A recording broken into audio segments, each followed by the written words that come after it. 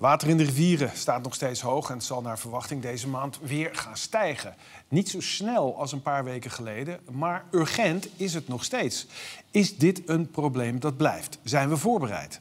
De man die erover gaat is Mark Harbers, demissionair minister van Infrastructuur en Waterstaat voor de VVD. En dat is ook die partij die het op dit moment zwaar te verduren heeft in Den Haag. En ook daar zullen we het natuurlijk zo meteen over hebben. Hartelijk welkom, meneer Harbers. Eerst dat, uh, dat, dat hoge water. En op meer plekken in het land zijn ze bezig met het hoge water. Gemeenten zetten zich schrap voor de komende dagen. Zo plaatst Hoorn grote zandzakken voor de deuren van een aantal huizen... om te voorkomen dat kelders onderlopen. Meer dan drie meter boven NAP.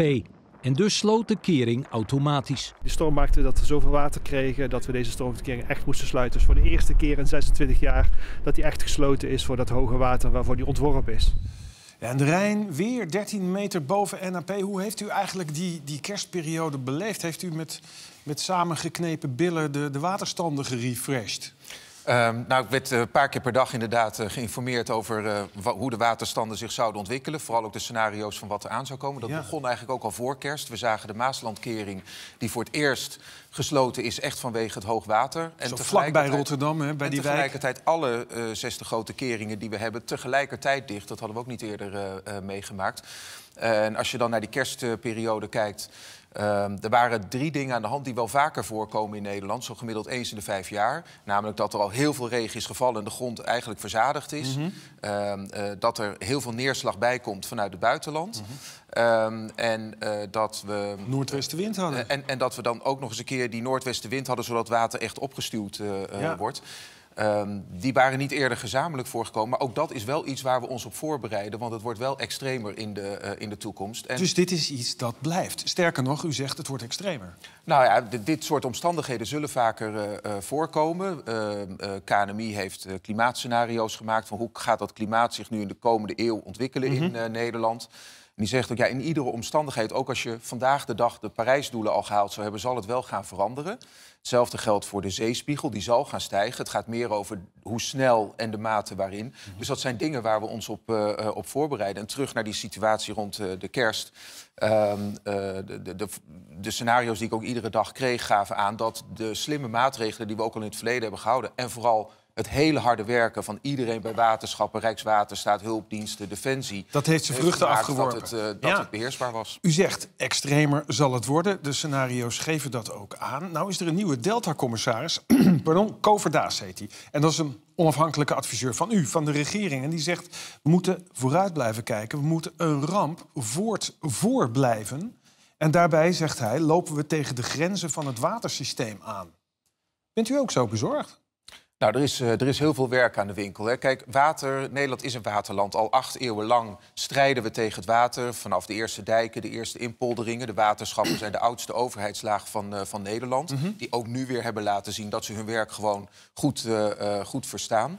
Uh, de opgave alleen die we hebben, die wordt wel complexer in de toekomst. Hè. Het is strijd tegen hoogwater en die zal intensiveren als ja. uh, de zeespiegel verder stijgt... of als we vaker te maken krijgen met extreme regenbuien... zoals we in 2021 in Limburg uh, zagen. Tegelijkertijd, want dat was ook de ervaring van de afgelopen jaren... zullen we vaker warmere, hetere en drogere zomers krijgen. We hebben vier droge zomers in zes jaar gehad. Dus het is ook, ook een probleem? Kunst, ja. Ook de kunst om als je dat water afvoert. In het verleden moest het eigenlijk zo snel mogelijk naar de Noordzee... om het beter te leren vasthouden, zodat je er wat aan hebt in... Uh, in uh, Waterberging, ja. ja. Eventjes over dat, uh, die wateroverlast die nu ook is. Er is, er is een versterkingsoperatie aan de gang van de dijken. 2000 kilometer dijk wordt er versterkt.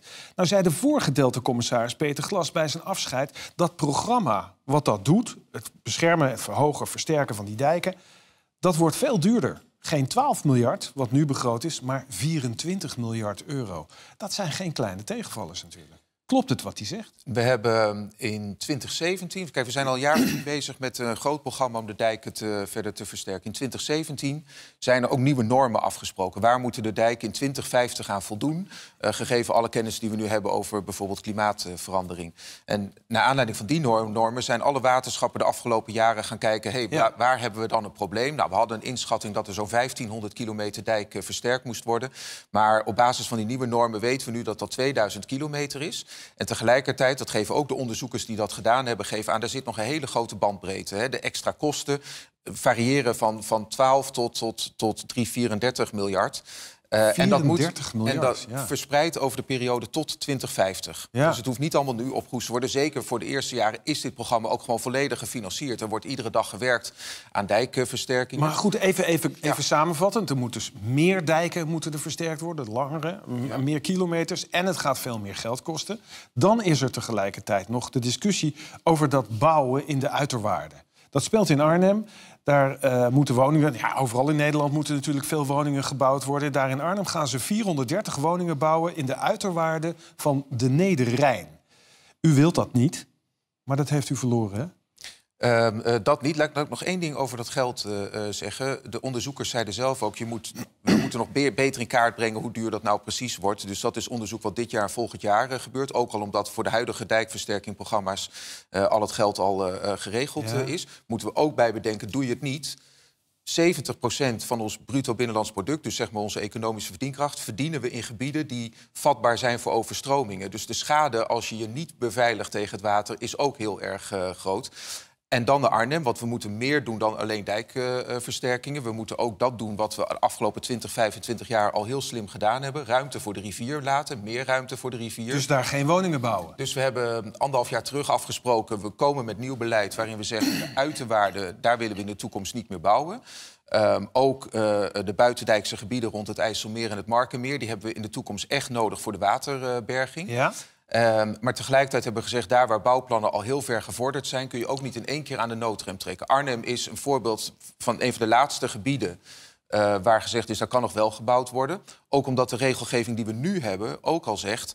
ehm, je kunt niet zomaar bouwen in de uiterwaard. Dan moet je wel zorgen Ja. dat je een alternatief hebt voor de waterafvoer. Nou, er is een nevengul ontworpen die in de toekomst dan de waterafvoer van de Rijn kan doen. Prima. Maar het is wel zo dat eh, we werken nu aan nieuwe regelgeving. Eh, dat moet eind van dit jaar, begin volgend jaar klaar zijn. En dan eh, zijn de uiterwaarden voortaan... Maar even, even heel helder, is, is Arnhem, die wijk hè, die, waar, het, waar het daarom gaat, Mijnerswijk... is dat de laatste keer wat u betreft dat er woningen in die uiterwaarden worden gebouwd? Nou, er zijn nog een paar gebieden, niet meer in uiterwaarden... maar bijvoorbeeld nog wel buitendijks waar ook eh, plannen zijn. Daar kijken we heel kritisch naar. We hebben ook veel medewerking van provincies en gemeenten... die ook zeggen, ja, we moeten zo snel mogelijk naar dat nieuwe eh, beleid toe. Maar daar waar je heel ver gevorderd bent... kun je ook niet zomaar jarenlange ontwikkeling eh, stoppen. Het zijn wel de laatste. En ehm, we zullen ook in de toekomst, ook op andere plekken, ook binnendijks... Wil, wel kritischer moeten kijken, wat kan daar... en hoe zorg je ervoor dat die huizen die je bouwt... over 30, 50 en ook 100 jaar nog beveiligd zijn tegen eh, water. Want laten we eerlijk zijn, we zijn in Nederland, dat weten we nu zo wel, zo langzamerhand, kwetsbaar voor dat water. Volgens het Planbureau voor de Leefomgeving is 59% van het land in Nederland, dus we rekenen het water niet mee, 59% is kwetsbaar voor overstromingen. Dan komt de Autoriteit Financiële Markten zelfs met het voorstel om een, een soort klimaatlabel voor huizen te maken, eh, uit te brengen. Zodat je als potentiële koper weet, is dit huis misschien op enig moment kwetsbaar voor overstromingen. Is dat een goed idee?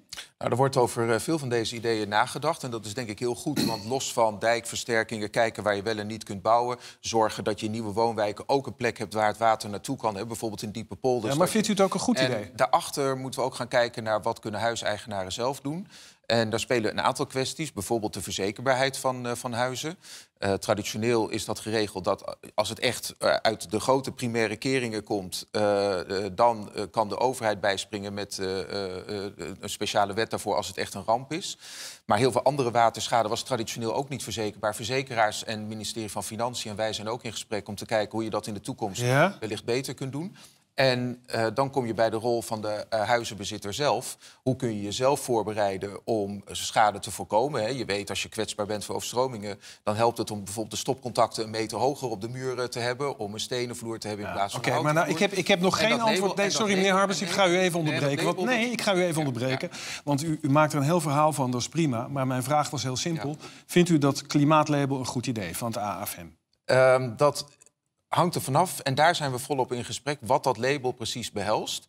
Als het simpelweg is, we plakken nu een sticker op je huis... en de bewoners niet meenemen in... maar wat kun je dan doen? Wat doet het voor de waarde van je huis? Eh, dan van de uitvoering af dus. Dus het hangt echt van de uitvoering af. Maar je gaat wel naar een wereld waarin ehm, eh, ja, de situatie van het water rond je huis... dat dat wel mee gaat tellen bij eh, ehm, waarschijnlijk toekomstige koopbeslissingen. Maar het is dat is meteen zo'n grote beslissing voor huizenbezitters... dat je dat niet onverhoeds kunt invoeren. En daarom worden daar volop gesprekken over gevoerd. Ja. We gaan naar Den Haag, naar de actualiteit. En uw partij, het gaat niet zo lekker hè, met de VVD op het ogenblik. Tien zetels verloren bij de verkiezingen. Als we nu kijken naar de peilingen, staat de VVD op 12. En de PVV vier keer zo hoog ongeveer. Nou, afgrijzelijk scenario, of niet? Um, wij zijn aan het bijkomen van het uh, verlies van een aantal zetels bij de verkiezingen. Dat was, uh, dat was fors. En er is heel veel werk aan de winkel. Uh, ook om met die 24 gekozen Kamerleden te zorgen dat ja, ja. de zorgen die de kiezers hebben, dat die goed bediend worden in de volgende periode. Waar zit het hem nou in? Ik bedoel, er, is, er is gedonder geweest, behoorlijk gedonder, over de spreidingswet. Want die is nu toch ja, opeens aangenomen in de Eerste Kamer. De VVD-fractie stemde voor. Daarvoor had Jessel Gus, uw partijleider, natuurlijk gezegd... laten we die, laten we die wet voorlopig eventjes in de koelkast zetten. Nou, is allemaal niet gebeurd. Verdient geen schoonheidsprijs. Ze zat haar eigen staatssecretaris, Erik van den Burg, reed ze in de wielen. Het is niet vrij, toch? Kijk, in een demissionaire periode heb je altijd uh, een ongelukkige situatie dat mensen meer rollen hebben. Uh, Erik van den Burg is en staatssecretaris namens het kabinet en uh, gekozen VVD uh, Tweede Kamerlid. Ja? Dit is van alle tijden en, en dan is het gewoon ook goed uitleggen wat je vanuit de ene rol doet en vanuit de andere rol. En tegelijkertijd waar de hele VVD volledig over verenigd is, is die spreidingswet is niet moeders mooiste. En het effect heb je pas als je echt iets aan de instroom doet. Uh, als je kijkt naar het verkiezingsprogramma en ook naar uh, uh, wat Dylan Jezielkes erover heeft gezegd... hadden we liever de volgorde andersom gehad. Maar wat doet het met het vertrouwen aan de formatietafel? Dat is, dat is echt aan de, aan de formatietafel. Wat heel helder is, is ook met de spreidingswet dat er iets aan de instroom gedaan moet worden. Daar is de VVD verenigd over. En dat is uiteindelijk aan ja. de VVD'ers aan de formatietafel om daar ook uh, afspraken over te maken. Bent u eigenlijk als lid van het kabinet blij dat die spreidingswet is aangenomen? Nou ja, het kabinet spreekt met één mond. Het was een wet van het kabinet. Dus het antwoord is? Uh, en uh, dat betekent, ja, het kabinet heeft, uh, heeft deze wet voorgesteld. Los daarvan, ik ben de hele dag niet bezig met de spreidingswet... maar wel met het werk bijvoorbeeld aan water en andere infrastructuur. U geeft gewoon geen antwoord. Nou, u, u kent ook het, het staatsrecht. ik zit, ik u bent hier staatsrechtelijk blij? Ik, ik, kom, ik kom, staatsrechtelijk zou, dat, zou dat een goede titel zijn. Zeg, en als... Maar ik ben, ik ben lid van een partij, maar ik zit in het kabinet... om ja. ook breed het kabinet kabinetsbeleid uit te dragen. En als prominent VVD'er bent u misschien minder blij? Uh, daar is denk ik van vooral alle inzet erop gericht dat er uh, uh, straks aan de formatietafel de goede afspraken ja. worden gemaakt. Aan de formatietafel hebben ze daar eigenlijk wel dat bewustzijn over het water en al die miljarden waar we het net over hadden en die kilometers dijk? Nou, als ik kijk naar de afgelopen twee jaar dat ik op deze post zat... dan heb ik geen politieke controverse gemerkt over uh, de aanpak van, uh, van water. Bijvoorbeeld toen we anderhalf jaar geleden zeiden... water en bodem moeten sturend worden voor de ruimtelijke inrichting... is dat niet op kritiek uh, komen te staan. Nee? Want iedereen ziet wel dat dit welbegrepen eigenbelang is van, de, van een land... wat laag ligt en daar een heel groot deel van zijn, van zijn verdiensten uithaalt. Maar ja, eerst en voor moet... mij is het dus ook een zaak van echt van nationale veiligheid. Nationale veiligheid gaat natuurlijk over bestrijden van criminaliteit... over je land veilig houden, over defensie. Maar voor een laaggelegen deltaland als Nederland... is waterveiligheid ja. ook essentieel onderdeel van de nationale veiligheid. Dus voor uw portefeuille zou een langdurige formatie heel kwalijk zijn?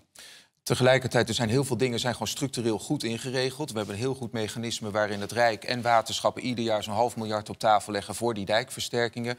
We hebben um, uh, een op dit moment nog goed gevuld uh, Delta-fonds.